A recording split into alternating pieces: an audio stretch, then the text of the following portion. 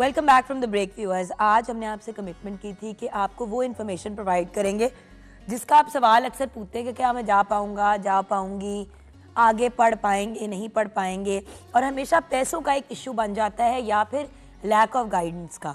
तो आज कुछ गाइडेंस भी लेंगे। हमने एक गेस्ट को इससे बुलाया ताकि हम डिटेल्ड गुफ्तु इनसे कर सकें और एक कंप्लीट पिक्चर ले सकें। फ़रुख लुकमान साहब हमारे साथ हैं, एक एक्सपीरियंस इमिग्रेशन कंसल्टेंट है प्राइवेट कंपनी के मैनेजिंग डायरेक्टर भी हैं।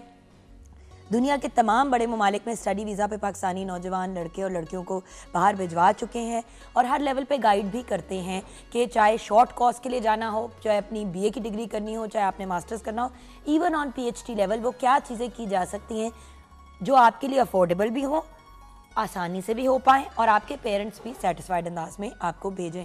सो पेरेंट्स ज़रूर आज का प्रोग्राम देखिएगा। अस्सलाम वालेकुम वालेकुम सलाम वरहमतुल्लाह। फरूख साहब सबसे पहले तो ये तो मैं साइड पे कर दूँ ना क्योंकि स्टडी वीज़ा जो है वो उस पर तो बात पहुँचती है बहुत आगे जाके। जी। पहले तो आपने अप्लाई करना होता Yes, है और फिगर आउट करना होता है। तो बाहर जाके पढ़ना आपकी नज़र में क्या ज़रूरी है कि नहीं है? या अनइम्पॉर्टेंट है? नो बाहर हमारे चूँकि अब तमाम दुनिया ग्लोबलाइज हो चुकी है और बाहर जाने का सबसे बड़ा फ़ायदा आपको ये है कि आपको उन ममालिक में तरक्की याफ्ता लोगों के साथ पढ़ने का मौका मिलता है और वो नॉलेज आप वापस अपने मुल्क पाकिस्तान लेकर आते हैं ताकि हमारा मुल्क भी उन चीज़ों को यूटिलाइज़ कर सके। तो हाँ, ये जस्ट जो से इसमें सबसे अहम चीज़ है वो नॉलेज शेयरिंग है। आप उधर से इल्म लेकर आते हैं और सबसे अहम चीज़ जो मैं आपको बताना चाहूँगा कि हमारे फाउंडर ऑफ़ पाकिस्तान उन्होंने भी इंग्लिस्तान से एजुकेशन हासिल की और देखें आज उन उन्होंने ना सिर्फ़ पाकिस्तान उन्होंने बनाया और उनका आज नाम रहती दुनिया तक कायम है। बिल्कुल सही। Yes. और ये बात मैं ज़रूर आपको पॉइंट आउट करना चाहूँगी व्यूअर्स के अक्सर लोगों का ख्वाब होता है कि हम बाहर सेटल हो जाएँ। अगर आपने बाहर भी सेटल होना है तो जब आपके पास बाहर की डिग्री होती है तो डिग्री ख़त्म करते करते आपके पास ऑप्शन होता है कुछ ममालिक में अप्लाई करने का फॉर इमिग्रेशन ऑल्सो अपनी एजुकेशन के बेस पे और अपनी वहाँ पे रहने की बेस पे जो आपने अरसा गुजारा होता है। सो वो भी एक ऑप्शन बन जाता है प्रॉपर लीगल तरीके से। रादर देन आप स्टडी वीज़ा पे जाएँ स्टडी ना करें वहाँ पे फिर रह जाएँ. इलीगल इमिग्रेंट बन जाएँ ये चीज़ें ज़रा प्रॉब्लमेटिक होती है जिससे रेपुटेशन भी ख़राब होती है। Yes. क्या पाकिस्तानियों के लिए बाहर जाना बहुत मुश्किल है? नो कोई आज क- बिल्कुल भी ऐसी कोई बात नहीं है।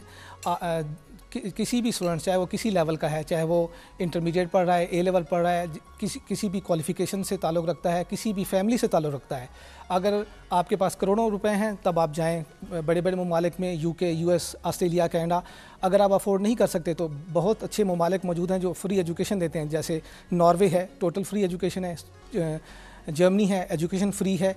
फ्रांस है एजुकेशन फ्री बट आप देखें ना प्रिंसटन हार्वर्ड ये जो आईवी लीग उस लेवल की यूनिवर्सिटीज होती हैं वो आपको अगर एक्सेप्ट कर लेती हैं तो वो आपको फाइनेंशियल एड भी देती हैं। यस बिल्कुल। अगर आप इंटरमीडिएट या ए लेवल या उससे आगे बहुत अच्छी ग्रेड लेते हैं तो इन यूनिवर्सिटियों में आप स्कॉलरशिप के ऊपर जा सकते हैं। फुल ब्राइट स्कॉलरशिप है जो अमेरिकन अमेरिकन यूनिवर्सिटीज़ देती हैं उनको अवेल किया जा सकता है। बेशुमार स्कॉलरशिप हैं जो कि यूके गवर्नमेंट देती है। तो उनको अवेल किया जा सकता है। अच्छा वैसे एक बात लोग कहते हैं कि सिर्फ़ ओ एन ए लेवल्स के बाद आप बाहर जा सकते हैं लेकिन मैंने तो एफ़ किया था कनेड से। And I got very good grades but बात ये कि एफ़ के बाद मैं कनाडा चली गई थी पढ़ने के लिए। वो सिर्फ़ आपके रिज़ल्ट का वो आपके पहले सेमेस्टर के रिज़ल्ट का फिर yes. वेट करते हैं वहाँ पे पढ़ते हुए कि आप एडजस्ट होते हो कि नहीं yes. और उस पर फिर आप पक्के हो जाते हो अदरवाइज़ यस मेरा ख्याल है कि जो मुझे एक्सपीरियंस मिला है उसमें इंटरमीडिएट के बच्चे बाहर के मुल्क में ज़्यादा जा रहे होते हैं। और a no doubt A level O level के भी बच्चे जा रहे हैं बट इसमें कोई भी डिफरेंस नहीं है कोई प्रॉब्लम नहीं है। दोनों बच्चे वहाँ पे जाके पढ़ते हैं और अपनी मेहनत से कामयाबी हासिल करते हैं। और एक बात हमने कही थी कि वहाँ पर लीगल रहने का। हमारा जो एक्सपीरियंस रहा है वो बच्चे ये समझते हैं कि हम बस बाहर पहुँच जाएँ और उसके बाद पढ़ें ना पढ़ें इससे कोई हज नहीं है। लेकिन अगर वो नहीं पढ़ते तो वो समझ लें कि वो सिर्फ़ चौकीदारी करेंगे या टैक्सी चलाएँगे और अगर वो मेहनत करते हैं और अपने जो वालदेन की खाए जो जिन वालदेन ने उनको पैसे दिए हैं उनको उसके मुताबिक खर्च करते हैं और अच्छी तालीम लेते हैं तो चंद सालों में जैसी उनकी एजुकेशन मुकम्मल होगी वो एक कामयाब इंसान होंगे ना सिर्फ़ उन मुल्कों में बल्कि पाकिस्तान के लिए भी। वही बात यह है कि चाहे आप बाहर रहें या वापस आ जाएँ अपनी डिग्री हासिल करने के बाद आपको जॉब भी बेहतर मिलेगी जी। और आपकी फाइनेंशियल सिचुएशन भी बेहतर होगी। हमेशा जब डिग्री सामने आती हैं तो अगर या तो पाकिस्तान की किसी टॉप यूनिवर्सिटी से पढ़े हुए हो Yes. बाहर की कोई जरा ऑर्डिनरी यूनिवर्सिटी से भी आप पढ़े हुए होते हो तो आपको फिर भी तरजीह दी जाती है ओवर रेगुलर डिग्री यस बिल्कुल। सबसे ज़्यादा किन अ, किस किस्म के स्टूडेंट्स का आपसे टाकरा होता है? वो क्या आपसे आके मतलब कहाँ जाना चाहते हैं? मोस्टली uh, जो स्टूडेंट्स हमारे पास आते हैं सबसे पहले जो ज़्यादा रेशो है वो यूके स्टडी की है फिर ऑस्ट्रेलिया की है फिर कनाडा की फिर यूएसए की। और उनमें से ऐसे बच्चे भी होते हैं जो अफोर्ड भी नहीं कर सकते एजुकेशन को जो कि इतनी कास्टली है। फिर भी वो चाहते हैं कि हमें यूके जाया जाए और यूके में भी उन्होंने सिर्फ़ सम टाइम मुझे फील होता है कि लंदन का नाम सुना हुआ है। जबकि मेरे ख्याल में अगर वो सर्च करें क्योंकि हर चीज़ इंटरनेट के ऊपर अवेलेबल है अगर उन्होंने एजुकेशन लेनी है और अफोर्ड नहीं कर सकते यस दूसरे शहर भी हैं यस और सस्ती एजुकेशन की तरफ़ अगर जाएँ अगर फ़र्ज़ करें आपको किसी वजह से फ्री एजुकेशन में नहीं मिला एडमिशन तो आप चेक रिपब्लिक चले जाएँ बहुत सस्ती एजुकेशन है पोलैंड चले जाएँ थ्री थाउज़ेंड डॉलर उनकी ट्यूशन फ़ीस है यूरो उनकी फ़ीस है। एटलीस्ट आपको एक मौका मिलेगा बाहर जाने का। उन कामयाब जो तरक्की याफ्ता ममालिक हैं उनके लोग हैं उनके साथ पढ़ने का मौका मिलेगा ताकि आप ना सिर्फ़ खुद आगे बढ़ सके बल्कि अपने खानदान को भी आगे जी बिल्कुल और अपने मुल्क के लिए भी काम कर सकें क्योंकि जब आप उधर जाते हैं तो आपको अपने मुल्क की कदर ज़्यादा फील होती है कि मैं अगर ये सब कुछ इधर की सीखा हूँ तो क्यों ना मैं अपने मुल्क को अच्छी तरीके से सर्व करूँ? अच्छा लेकिन लोगों के जहन में यही बात आती है क्योंकि मैं भी इंटरनेशनल स्टूडेंट मैं कैनेडा में पढ़ी यूनिवर्सिटी ऑफ़ वेस्टर्न ऑन्टेरियो जिसको आप वेस्टर्न यूनिवर्सिटी कहते हैं। आई मीन बीस हज़ार डॉलर पर ईयर उस वक्त फ़ीस थी सिर्फ़ ट्यूशन की इंटरनेशनल स्टूडेंट की। तो अब आप hmm. हिसाब लगा लें कि over the course of the university कितना बट पहले साल के बाद जब मुझे इश्यूज़ हुए तो उन्होंने एक तो जब मेरा पहले भी दाखला हुआ था तो उन्होंने फोर थाउज़ेंड डॉलर्स वैसे ही माफ़ कर दिए थे एंट्रेंस स्कॉलरशिप का नाम दे के और इस तरह करके उन्होंने बहुत ज़्यादा एडजस्ट की थी मेरी फ़ीस जब मुझे मसाइल हुए थे। लेकिन मसला होता है पहुँचने का कम्युनिकेट करने yes. का अब आपको अगर अंग्रेज़ी नहीं सही तरह बोलनी आती तो फिर आप क्या करें? Yes yes. हमें ये भी आजकल मुश्किल पेश आ रही हैं। जो भी हमें टेलीफोन कॉल्स आती हैं वो यही कहते हैं कि क्या हम विदाउट आइल्स जा सकते हैं? विदाउट टॉफल जा सकते हैं? मुझे ये समझ नहीं आती कि हमारे पाकिस्तानी बच्चे टोफल और आयल से इतना डरते क्यों हैं? मुझे ये एक्सप्लेन तो करें ना कि ये दोनों चीज़ें हैं क्या हाँ, जो अभी आप सोचते कि बिल्कुल कोरे कागज़ आपके सामने अभी टीवी देख रहे हैं। ओके इनफैक्ट आपने जब अमेरिका यूके या ऑस्ट्रेलिया कनाडा जाना है तो आपने उर्दू में नहीं पढ़ने जाना। आप वहाँ पे इंग्लिश में पढ़ना जा रहे हैं। तो वो यूनिवर्सिटी ये चाहती हैं कि जो बच्चे हमारे पास आएँ उनकी इंग्लिश उनको इंग्लिश लिखना पढ़ना सुनना और बोलना आती हो। और ये टोफल टेस्ट या आइल्स टेस्ट ये दोनों एक एक जैसे टेस्ट हैं। इनमें रीडिंग राइटिंग लिसनिंग और स्पीकिंग के टेस्ट होते हैं। और इंग्लिश वही है जो हम छठी क्लास से पढ़ रहे हैं। कोई नई चीज़ नहीं है। जस्ट आप, ये और पाकिस्तान में इसका हवा बना हुआ है। तो ये मैं सबको यही कहूँगा, ये बहुत आसान है। कभी भी आप किसी से ये ना पूछें कि मुझे किसी ऐसे मुल्क में पहुँचा दें जो विदाउट आइल्स हो। आप कभी नहीं, और, ज़्यादा चांसेस यही हैं कि आप कभी भी नहीं जा पाओगे और अपने पैसे ज़ाया करते रहेंगे। तो आइल्स और टोफल से बिल्कुल नहीं घबराना चाहिए। इनकी रजिस्ट्रेशन आसान है। इनकी कोचिंग अवेलेबल है। पहले तो जिनकी इंग्लिश अच्छी है जिनको कॉन्फिडेंस है यस हम खुद भी कोचिंग कराते हैं और मैं ये नहीं कहूँगा कि आप ज़रूर कोचिंग लें आप बुक्स मार्केट से लें केसेट्स अवेलेबल हैं सीरीज़ अवेलेबल हैं घर बैठे सीखें सारा कुछ अवेलेबल है और इसको आइल्स को पास करना कोई भी मुश्किल काम नहीं है। और अगर आपको कोई कंसल्टेंट समटाइम अखबारों में भी आता है without IELTS study in Canada without IELTS इन चीज़ों से हमेशा आप दूर रहें। क्योंकि इसमें या तो वो कंसल्टेंट आप नर्वस होने वाली बात है। जी बिल्कुल। It's a very odd thing कि एकदम से और पैसे जाए हैं अभी करने हैं और वो जो आप इधर उधर हाथ पाव मारने से जाया करेंगे असल में ये वो लोग होते हैं जो कहते हैं कि भाई आपने एक चीज़ नहीं देनी तो आपका वीक पॉइंट पकड़ के आपको अननेसेसरली वो करते हैं। Yes yes. अब मैं अगर कैनेडियन एम्बेसी की बात करूँगा तो उनकी तरफ़ से जो गाइडेंस है वो यही है कि हम आइल्स या टोफल का स्कोर देखना पसंद करते हैं। जो ये कोर्स होगा उसको उसको वी, उसके वीज़े के चांसेस अच्छे हो जाते हैं। तो जो विदाउट आइल्स या टोफल लिखते हैं ये सरासर बच्चों के साथ जाती है उनके पैसे ज़ाया होते हैं। हालाँकि टोफल और आइल्स सिर्फ़ ट्वेंटी थाउज़ेंड रुपीज़ का इसका टेस्ट है वो आप ऑनलाइन पे करें आपको डेट्स और वेन्यू आ जाता है आप जाके टेस्ट दें। कोई इसमें किसी किस्म की कोई घबराने की ज़रूरत ही नहीं है। सेट क्यों देना होता है? सेट अगर आपने जाना है अमेरिका और मोस्टली अमेरिकन यूनिवर्सिटीज़ कैनेडियन मांगती। कैनेडियन बहुत कम मांगती हैं। कुछ कुछ हैं जो मांगती हैं। Very few yes very few otherwise American मांगती हैं लेकिन अब वो भी उन्होंने अपनी वेबसाइट के ऊपर लिखना शुरू कर दिया कि अगर आपको सेट एक और टेस्ट है जी जो कि एमबीए के लिए होता है एक और टेस्ट है जी आर ई जो कि इंजीनियरिंग के लिए होता है। वो कहते हैं कि अगर आपने अपने मुल्क में ये नहीं किया हुआ तो आप हमारे मुल्क में आके कर सकते हैं। पहले करने की ज़रूरत नहीं है। तो ये टेस्ट इसलिए होते हैं।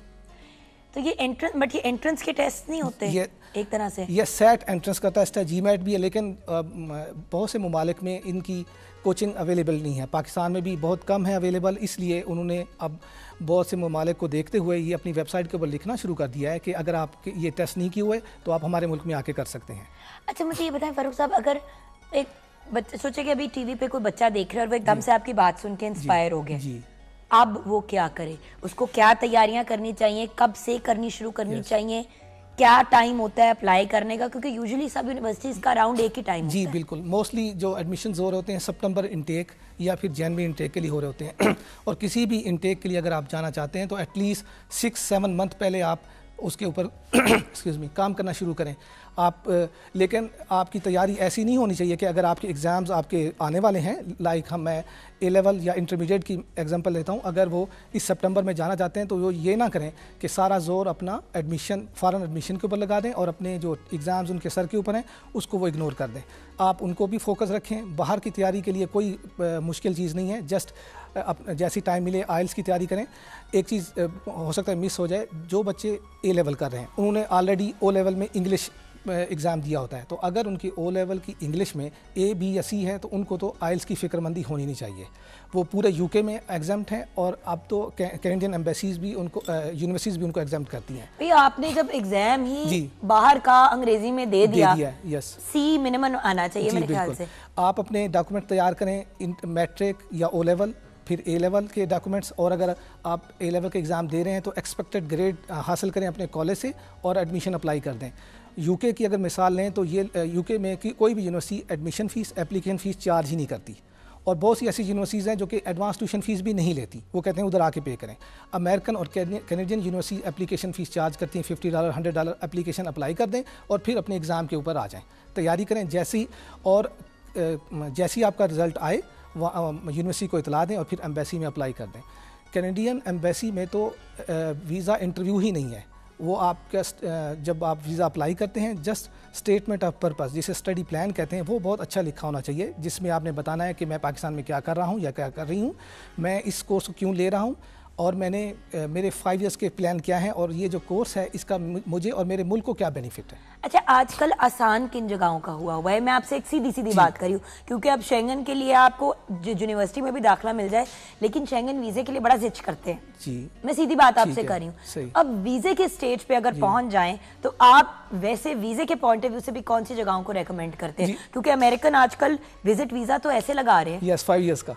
यस बिल्कुल ऐसे है। आई मीन लिटरली दो दो हफ़्ते तीन तीन हफ़्ते में लगा रहे हैं पहले चार चार महीने लगते थे। यस हमारे स्टूडेंट्स एक एक आज इंटरव्यू दिया है तो कल एसएमएस आ जाता है कि अपना पासपोर्ट कलेक्ट कर लें। हम्म। और एक एक दिन की भी एग्जांपल मौजूद है। तो सबसे जो इजी वीज़ा आपने जो non university yes unknown universities बिल्कुल होंगी तो उसमें फिर जरा मसला बिल्कुल वो खुद भी पूछते हैं कि आप ये तो यूनिवर्सिटी हमने नहीं सुनी तो आप कैसे जा रहे हैं? इसलिए कोशिश करनी चाहिए यूनिवर्सिटी अच्छी हो कॉलेज या गवर्नमेंट का कॉलेज हो अच्छा हो और प्रोग्राम प्रॉपर हो। तो मैं कह रहा था कि जो आसान इस वक्त वीज़ा है वो है अमेरिका का। उसके बाद ऑस्ट्रेलिया का आसान है। कैनेडियन स्टडी वीज़ा जब से ऑनलाइन हुआ है उस दिन उस वक्त से वो बहुत आसान हो चुका है। इजीली मिल मिल मिल रहा है। आसान होने का मतलब ये हरगिज नहीं है कि आप एलिजिबल भी ना हो और आपको वीज़ा दिया जाए। मतलब ना कोई बैंक स्टेटमेंट हो ना कुछ हो हाँ, बस आप अप्लाई कर दें आसान होने का मतलब सिर्फ़ ये है कि आप उनकी तमाम रिक्वायरमेंट पूरी कर रहे हैं। कोई स्टडी गैप नहीं है या है तो वो जस्टिफाई हो रहा है कि मैंने इसमें क्या करता रहा हूँ। प्रॉपर डॉक्यूमेंटेशन हो पेरेंट्स की बैंक स्टेटमेंट हो या आपकी अपनी बैंक स्टेटमेंट हो वो तमाम रिक्वायरमेंट आपने पूरी करनी है और उनको पूरी करना कोई बड़ी बात नहीं है। आपको ज़रूरत नहीं है कि बंडल के बंडल एम्बेसी में भिजवाएँ कि जनाब ये हमारे डॉक्यूमेंट हैं। उनको मुख्तसर डॉक्यूमेंट चाहिए कि पेरेंट्स क्या करते हैं। एक पे इसमें भी आप सब गाइड करते यस बिल्कुल इसमें गाइड करते हैं क्योंकि एम्बेसी वाले भी के पास उनके पास भी ये टाइम नहीं है कि आपके पूरे बंडल चेक करें। उनको मीनिंगफुल डॉक्यूमेंट चाहिए जिससे उनको पाँच छः मिनट में पता लग जाए कि ये प्रोफ़ाइल कैसी है कैसा स्टूडेंट है। और अगर जैसे आपने Schengen excuse me Schengen countries का कहा वाकई मैं आपसे एग्री करता हूँ वो थोड़े से पाकिस्तान के मामले में टफ़ हैं लेकिन मुझे चंद दिन पहले चेक रिपब्लिक जाने का मौका मिला तो मैं वैसे दूसरे मुल्कों में जब भी जाता हूँ लेकिन चेक रिपब्लिक वो वाहिद मुल्क था जहाँ पे इमिग्रेशन डिपार्टमेंट ने एक प्रेजेंटेशन दी और उसमें पाकिस्तान का नाम उन्होंने लिया हम्म। और उन्होंने पाकिस्तान को वो जिससे फील होता था कि वो हमें बहुत वेलकम कर रहे हैं हम्म। लेकिन हमारे मुल्क में चूँकि अखबार में एक ही न्यूज़ आती है study in UK study in Canada study in Australia और बाकी ममालिक ना होने के बराबर हैं। और और ये चेक रिपब्लिक है, ये बहुत अच्छा मुल्क है। इनकी एजुकेशन जो है, वो भी बहुत इकनॉमिकल है like three thousand euro four thousand euro ये बहुत ही अफोर्डेबल है। तो हमें, मेरे ख्याल में जो बच्चे इतना फाइनेंशियल फाइनेंशियली अफोर्ड नहीं कर सकते उनको इन मुल्कों में भी जाना चाहिए। लेकिन मुझे एक चीज़ जो एक बिलीफ है कि जो सिर्फ़ बड़े अमीर घरों के बच्चे बाहर जा सकते हैं पढ़ने के लिए ये किस हद तक सच है? ये बिल्कुल गलत है। जिसके पास पैसे नहीं हैं लाइक मैं आपको एग्ज़ाम्पल देता हूँ नॉर्वे की थ्री इयर्स बैक मैंने एक स्टूडेंट मेरे एक स्टूडेंट उधर गए हैं उनको नॉर्वे नॉर्वेजन यूनिवर्सिटी ने एयर टिकट के पैसे भी दिए। My stepmother also I remember मनीजे आंटी जब वो बाहर जाना चाहती थी टू डिफरेंटली एबल्ड बच्चों के लिए पढ़ने के लिए। मैरिड टू माई फादर हम लोग मैं नौ साल की नहीं मैं तेरह साल की थी। तो हम लोग गए भी थे उनके पास नॉर्वे मिलने के लिए। वो गई थी कुछ सालों के लिए और आई कांट टेल यू कि पूरी यूनिवर्सिटी ने बेसिकली उनकी पूरी की पूरी ट्रिप फंड की कि भाई आप उस चीज़ के बारे में सीखना चाहती हैं जो यूनिक और out of the blue so even as an older student I think mature student कहते हैं कनाडा में पता नहीं बाहर क्या कहते हैं मच्योर स्टूडेंट भी आपको आप अप्लाई कर सकते हैं अपने बच्चों के डिग्री पढ़ने के बाद। तो ये हम ब्रेक के बाद डिस्कस करेंगे कि अगर आप बिल्कुल यंग कैटेगरी में नहीं आते बिल्कुल स्टूडेंट कैटेगरी में नहीं आते बच्चों की क्या आप अपने बच्चों के बाहर जाने के बाद या बच्चों के शादियों के बाद जा सकते हैं? क्या ऑप्शंस मजीद और हैं ब्रेक के बाद?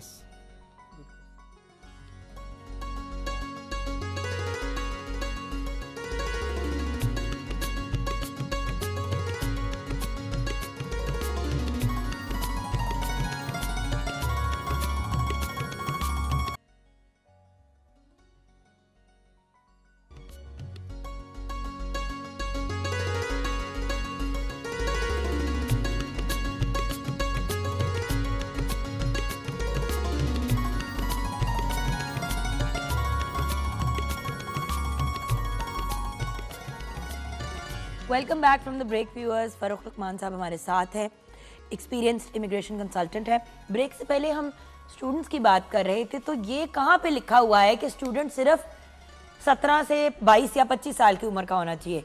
जी फरूख साहब इसके बारे में आप क्या कहेंगे? यस yes, इसके आप जो इल्म हासिल करना है वो तो जब तक आपके आप ज़िंदा हैं जब आप इल्म हासिल कर सकते हैं। लेकिन जब स्टूडेंट की बात होती है तो 17 साल से 25 या ज़्यादातर 30 की एज आती है। यस वो उसमें प्रॉब्लम ये है कि एडमिशन लेना किसी भी मुल्क में कोई भी प्रॉब्लम नहीं है। असल प्रॉब्लम आपको फेस करनी पड़ती है एम्बेसीज में। एम्बेसीज ये फैसला करके बैठी होती हैं कि अब जो ये बच्चों वाले हो गए हैं इट मीन ये अब सिर्फ़ हमारे मुल्क में सेटल होने के लिए आ रहे हैं ना कि पढ़ने के लिए।